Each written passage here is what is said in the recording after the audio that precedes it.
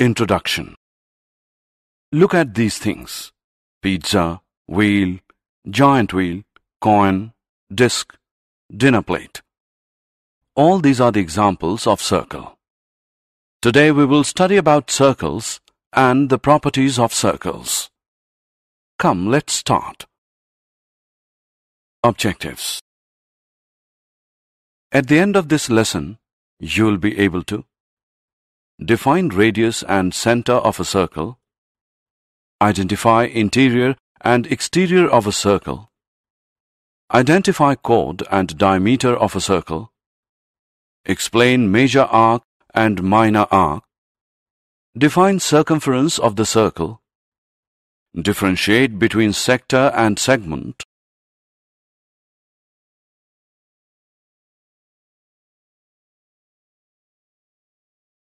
Explain the angle subtend by a chord at a point. Draw perpendicular from the center to a chord. Understand equal chords and their distances from the center. Explain angle subtended by an arc of a circle. Explain cyclic quadrilateral. Definition Look at this circle. And now look at this dot in a circle. This is a fixed point and is called center of a circle. We can make radius with this point. Radius is the line from the center of a circle to a point on the circle. In this figure, OP is radius. Look at this clock now. It is round in shape, or we can say that it is circular in shape.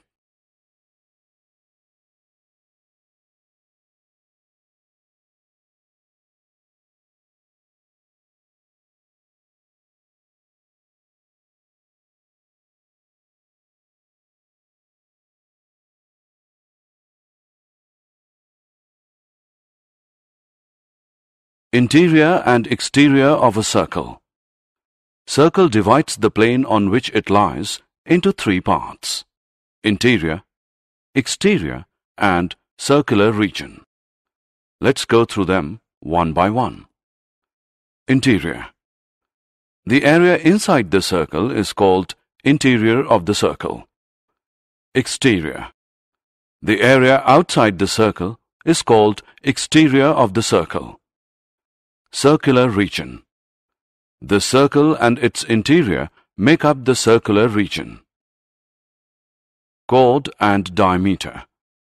If you take any two points on the circle, say P and Q, and join them, then the line segment PQ is called a chord of the circle. The chord, which passes through the center of the circle, is called a diameter of the circle. Diameter is the longest chord of the circle and is equal to 2 times the radius. Here we can see that AB is a diameter. Major arc and minor arc. Look at this figure. This is an arc. An arc is a part or a portion of a circle. Or we can say that a piece of a circle between two points is called an arc. There are two types of arcs. The major arc and the minor arc. The longer one is called major arc. Here AQB is the major arc. And the shorter one is the minor arc. AB is the minor arc. The arc is denoted by this sign. Circumference, sector and segment. The circumference of a circle is the distance around the outside of the circle. It could be called the perimeter of the circle. There are two main slices of a circle. The pizza slice and the slice made by the chord. The pizza slice is called a sector and the slice made by a chord is called a segment. There are two types of sectors, the minor sector and the major sector. Like sectors, there are two types of segments, the minor segment and the major segment. Now look at this circle. Here, both the arcs are equal. Therefore, these two are the semicircles.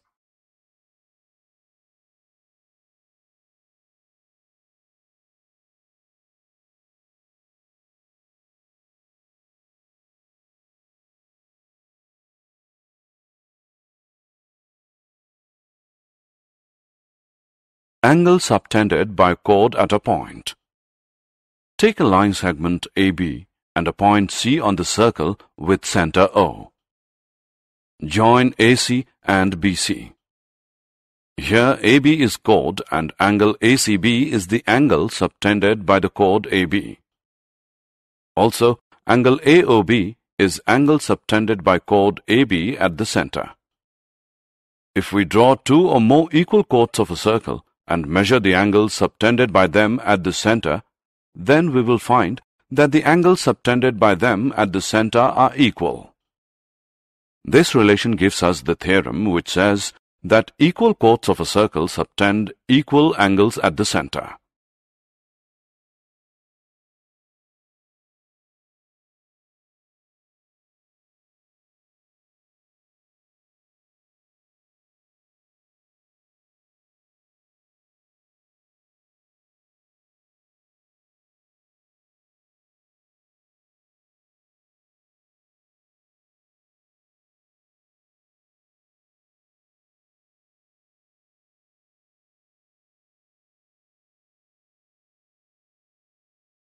Theorem. Let us prove this theorem. Given two equal chords PQ and RS of a circle with center O. To prove angle POQ is equal to angle ROS. Proof. In triangles POQ and ROS, OP is equal to OR because these are the radii of a circle. OQ is equal to OS. These are also the radii of a circle. PQ is equal to RS given. Therefore, by SSS congruence rule, triangle POQ is congruent to triangle ROS.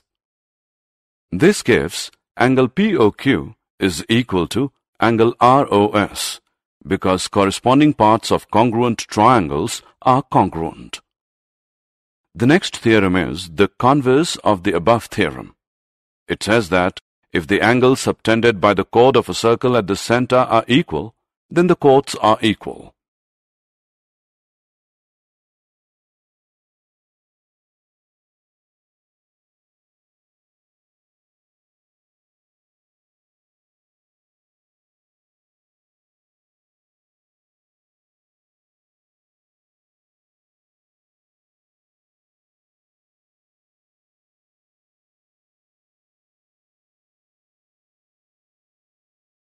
Theorem. Let us prove the converse now. Given two equal angles, angle POQ and angle ROS of a circle with center O. To prove PQ is equal to RS. Proof. In triangles POQ and ROS, OP is equal to OR because these are the radii of a circle.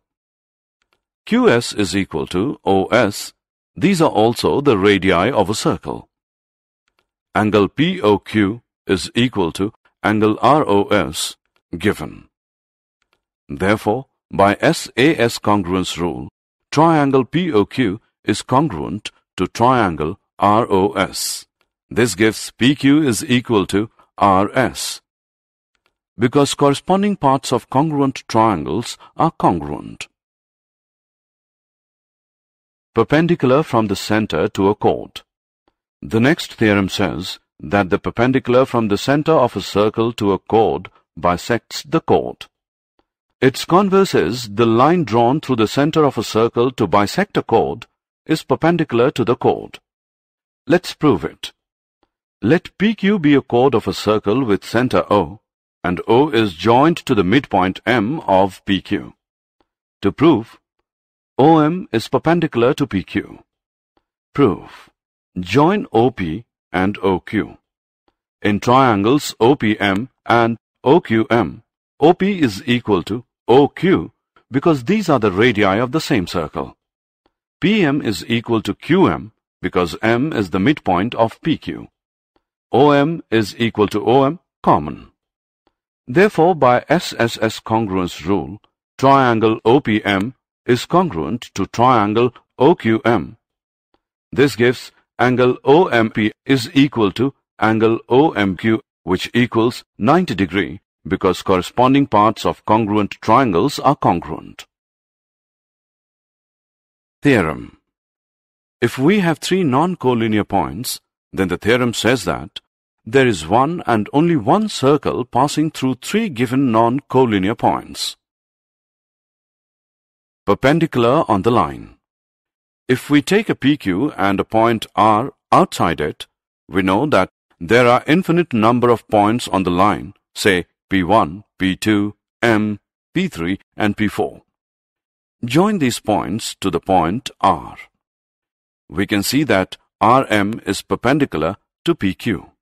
Then RM is the distance of PQ from R. Or we can say that the length of the perpendicular from a point to a line is the distance of the line from the point.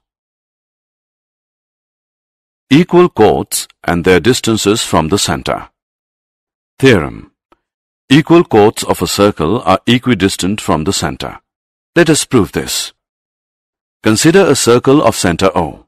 It has AB and CD two chords of equal length. Now draw a perpendicular from center to AB and CD intersecting them at L and M. So we have to prove that OL is equal to OM. Join OB and OD. We know that AB is equal to CD given. BL is equal to AB upon 2. Perpendicular drawn from a center to a chord bisect the chord. Similarly, DM is equal to DC upon 2. Therefore, BL is equal to DM. Consider triangle OBL and triangle ODM.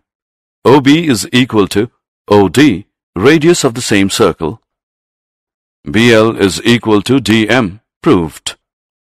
Angle OLB is equal to angle OMD, which is equal to 90 degree, given. Therefore, by SSA congruence rule, triangle OBL is congruent to triangle ODM. This implies that OL is equal to OM by CPCT. Therefore, equal chords of a circle are equidistant from the center. The converse of this theorem says that chords equidistant from the center of a circle are equal in length.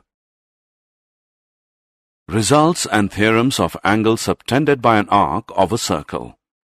The relation between the chord of the circle and the arc is that if two chords of a circle are equal, then their corresponding arcs are congruent.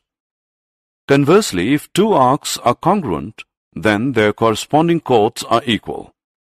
The second result says that the congruent arcs or equal arcs of a circle subtend equal angles at the center. That means the angle subtended by a chord of a circle at its center is equal to the angle subtended by the corresponding arc at the center. Relationship between the angles subtended by an arc at the center and at a point on the circle. Draw a circle with center O. Let PAQ be an arc and be any point on the circle. If we measure the center angle POQ and an inscribed angle PBQ by the arc at remaining part of the circle, we observe that angle POQ is equal to 2 into angle PBQ. This activity gives us a theorem. Theorem. The angle subtended by an arc at the center is double the angle subtended by it at any point on the remaining part of the circle. Let's prove it. Given arc AB of a circle with center O, subtending angles angle AOB at the center and angle APB at a point P on the remaining part of the circle. To prove, angle AOB is equal to 2 angle APB. In the given condition, clearly we have three cases. Case 1. AB is a minor arc. Case 2. AB is semicircle. Case 3. AB is a major arc. Construction. Join PO and extend it to a point Q. Proof. Recall that an exterior angle of a triangle is equal to the sum of the two interior opposite angles. So we have angle QOB is equal to angle OPB plus PBO. 1. Considering triangle OPB. Angle AOQ is equal to angle APO plus angle PAO. 2. Considering triangle APO. Also, OB is equal to OP, being radii. Angle OPB is equal to angle PBO and OA is equal to OP, being radii. Similarly, angle APO is equal to angle PAO, thus 1 and 2 reduces to angle QOB as 2 into angle OPB, 3. Angle AOQ is equal to 2 angle APO, 4. Adding 3 and 4 we get angle AOQ plus angle QOB is equal to 2 into angle APO plus angle OPB. Similarly, angle AOB is equal to 2 angle APB. Now for the case 3, reflex angle AOB is equal to 2 APB, hence proved. Angle in semicircle. Theorem. Angle in a semicircle is a right angle. Let O be the center of a circle. Consider a semicircle PAQ and its inscribed angle PBQ. Therefore, 2 angle PBQ is equal to angle POQ because we know that the angle subtended by an arc at the center is double the angle subtended by it at any point on the remaining part of the circle. But angle POQ is 180 degree because PQ is a diameter of the circle. 2 angle PBQ is equal to 180 degree. Therefore, angle PBQ is 90 degree. Angles in the same segment. Theorem. Angles in the same segment of a circle are equal. Given. A circle with center O and the angles angle PRQ and angle PSQ in the same segment formed by the chord PQ or arc POQ. To prove, angle PRQ is equal to angle PSQ. Construction. Join OP and OQ. Prove. As the angle subtended by an arc at the center is double the angle subtended by it at any point on the remaining part of the circle, therefore we have angle POQ as 2 angle PRQ. Mark it as 1. And angle POQ is equal to 2 angle PSQ. Mark it as 2. From first and second we get 2 angle PRQ is equal to 2 angle PSQ. Therefore, angle PRQ is equal to angle PSQ.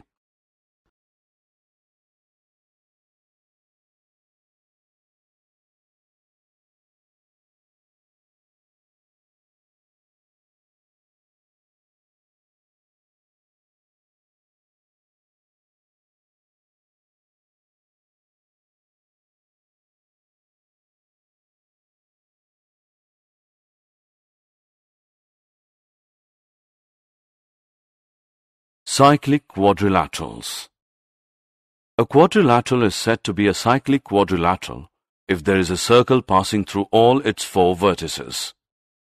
In the figure, PQRS is a cyclic quadrilateral.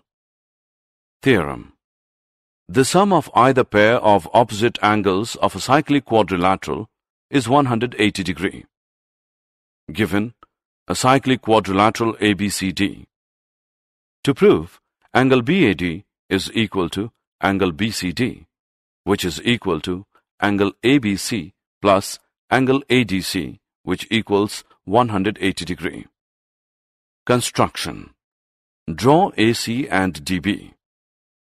Prove Angle ACB is equal to angle ADB and angle BAC is equal to angle BDC because these are the angles in the same segment.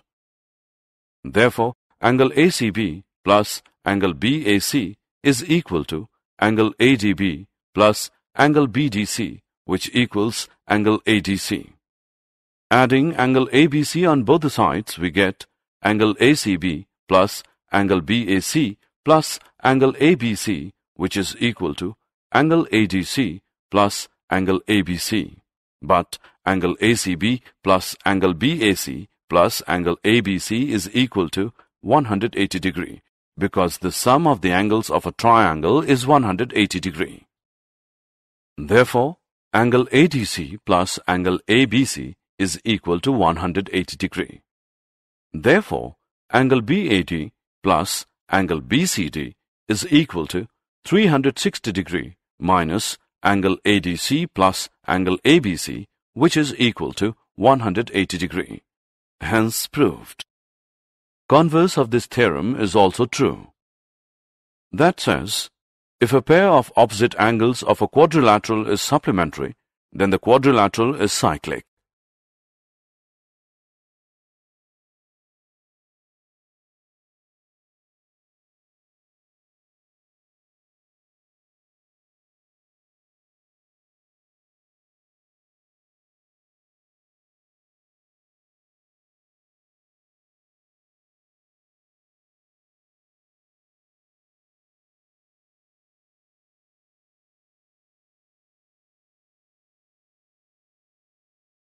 Did you know? Circles are the only one-sided shape with an area. A straight line is a circle with an infinite area. Circles have no angles. A circle has an infinite amount of lines of symmetry.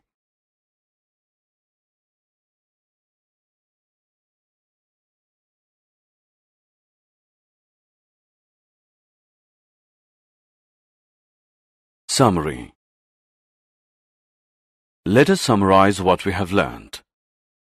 A circle is the collection of all points in a plane which are equidistant from a fixed point in the plane. Equal chords of a circle subtend equal angles at the center. If the angles subtended by two chords of a circle at the center are equal, the chords are equal. The perpendicular from the center of a circle to a chord bisects the chord. The line drawn through the center of a circle to bisect a chord is perpendicular to the chord. Equal chords of a circle are equidistant from the center. Chords equidistant from the center of a circle are equal.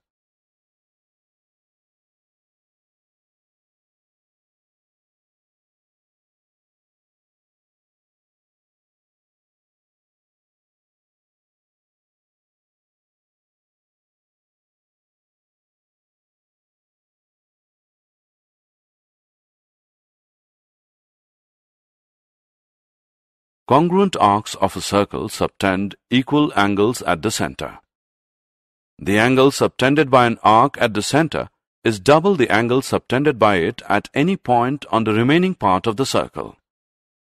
Angles in the same segment of a circle are equal. Angle in a semicircle is a right angle. The sum of either pair of opposite angles of a cyclic quadrilateral is 180 degree. If sum of a pair of opposite angles of a quadrilateral is 180 degree, then the quadrilateral is cyclic.